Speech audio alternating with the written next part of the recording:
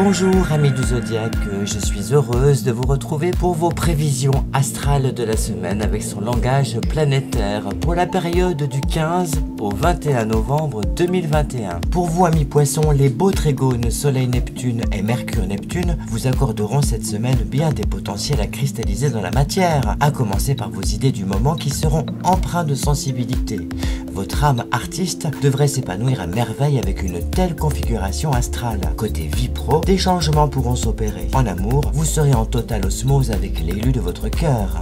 Mes conseils de la semaine pour vous, amis poissons, ne vous dispersez pas, triez vos idées, ciblez vos projets, ceux qui sont réalistes et ceux qui ne le sont pas, puis déterminez vos priorités, le meilleur moyen de ne pas s'égarer sur le chemin de la réussite. Merci à vous, n'hésitez pas à vous abonner à ma chaîne YouTube ou à me consulter pour des prévisions astrologiques plus personnelles. Belle semaine astrale à vous